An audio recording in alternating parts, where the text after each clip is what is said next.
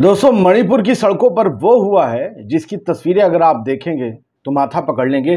बड़ी शर्मसार कर देने वाली तस्वीरें हैं और ये अपमान है खुले तौर से। प्रधानमंत्री नरेंद्र मोदी का और गृह मंत्री अमित शाह का। लेकिन यह अपमान करने वाले कौन हैं?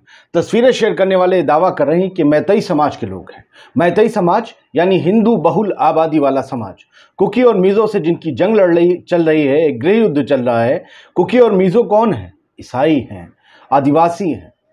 और मैतई समाज माना जाता है कि बीजेपी का वोटर है, वही आज प्रधानमंत्री मोदी और अमित शाह साहब के पुतले के साथ वो कर रहा है कि जिसे मतलब कोई अपने परिवार के साथ बैठ के नहीं देख सकता है। इतनी शर्मनाक हरकतें हैं। औरतें, आदमी, मैतई समाज के बताए जा रहे हैं। ये दावा किया जा रहा है।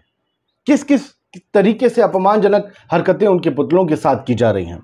ट्राइबल आर्मी ने इस वीडियो को शेयर किया। लिखा, मैतई समुदाय के लोगों द्वारा पीएम मोदी और गृह मंत्री अमित शाह के पुतले के साथ जिस प्रकार से बेहद आपत्तिजनक दुर्व्यवहार किया गया है, अगर इस प्रकार से कुकी जनजाति के लोगों द्वारा किया गया होता तो अब तक उन्हें गद्दार घोषित करके जेल में डाल दिया गया होता।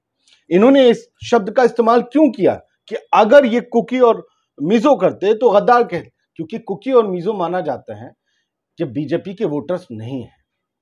अब उनकी पार्टी ने कल समर्थन ले लिया, दो विधायकों की पार्टी है, कुकी। लेकिन क्या फ़ायदा? खैर, अपना प्रतिरोध तो जताया। तो मैतई बीजेपी के वोटर माने जाते हैं। मैतई लोगों ने ये सब किया है, इसलिए उन्हें गद्दार कोई नहीं कहेगा। इस बात की आप कैफियत को समझें। जो भी भाजपा का वोटर होगा, गलत होगा, उसे कोई कुछ नहीं कहेगा। जहाँ वो वोटर, जो बीजेपी को वोट नहीं करता है, खासतौर से माना जाता है मुसलमान नहीं करते हैं तो उन्हें सीधा गद्दार वतन, पाकिस्तानी, न जाने क्या क्या कह दिया, जबकि उनसे ज़्यादा वफादार कोई नहीं है। पाँच वक्त ज़मीन को सजदा करते हैं वो कभी उन्होंने हथियार नहीं उठाए, कभी उन्होंने रैलियाँ हथियारों वाली नहीं निकाली। ना कभी किसी को मारने नरसंहार करने का कोई ऐलान किया, दिल्ली की किसी सड़क पर खड़े होकर। ना ही कुछ कहा कि ये मंदिर बंद कर दो, वो मंदिर बंद कर दो। वो अपना काम कर रहे हैं, अपने हिसाब से अपना छोटा छोटा काम जो कारोबार है। लेकिन ये ही समाज है। ये तो बीजेपी का कोर वोटर माना जाता है। ये ऐसा क्यों कर रहा है? आखिरकार ये नौबत क्यों आन पड़ी? हमें इसकी विस्तृत जानकारी तो नहीं पती, पता चली, लेकिन डी डैनियल हाउकिप ने इसे ओरिजिनली शेयर किया था, जो ट्राइबल आर्मी ने जिसे रिट्वीट किया वीडियो को। और जो है, उन्होंने लिखा था, India must see and condemn the sexual jokes on our PM Modi, effigy and MHA, Amit Shah effigy by the Meitei community. कि इंडिया के लोगों को पूरी तरीके से भर्सना करनी चाहिए। जिस तरीके से ये जोक्स बनाए जा रहे हैं, लैंगिक आधार पर या सेक्सुअली, पीएम मोदी और अमित शाह के खिलाफ, उनके पुतलों के, को लेकर, इस सब का विरोध करना चाहिए लोगों को। और डी डैनियल ने इसे, टी डैनियल ने शेयर किया था, स्टूडेंट है। तो अब ये नरेश बालियान साहब ने भी एक खबर शेयर करी, मणिपुर की, कि मणिपुर में फौजियों से आई कार्ड मांग रही हैं मैतई महिलाएँ। मिलिट्री पुलिस के काफिले को रोक लिया। मैतई महिलाएँ आखिरकार किस तरीके से हकूक रखती हैं? क्या अख्तियार है? उन्हें कोई रोकने वाली पुलिस नहीं है।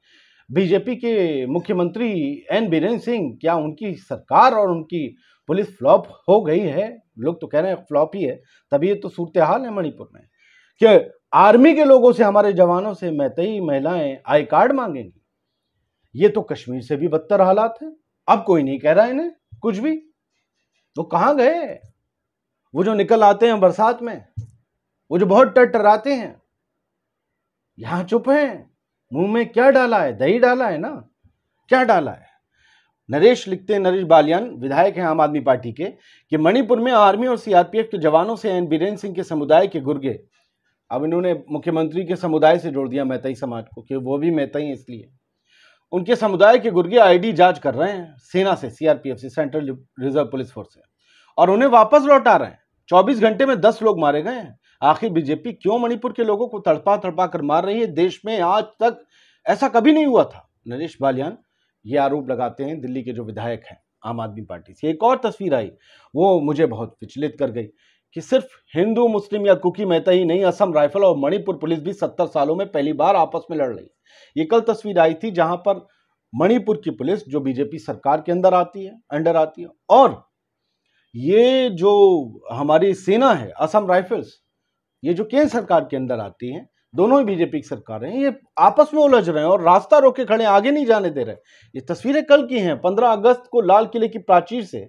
इसी अमृतकाल की जयंती मनाई जाएगी और कहा जाएगा, सब चंगासी हालात खराब है मणिपुर में। और इसीलिए अब राहुल गांधी जो वापस संसद पहुँचे हैं, और प्रधानमंत्री को बोलना पड़ेगा अविश्वास प्रस्ताव पे, माना जा रहा है कि बहुत लोकसभा में भी पारा हाई जाएगा। फ़िलहाल हम सब की दुआ है कि मणिपुर में, नूह में, मेवात में सब हालात ठीक हो जाएँ और जो इस मुल्क को दंगे और हिंसा की आग में ढकेलना चाहते हैं, वो अपने ख़ानदानों समेत बर्बाद हो जाएँ ताकि उनके यहाँ से फिर कोई और इस तरीके का मंसूबा ना कर सके। जय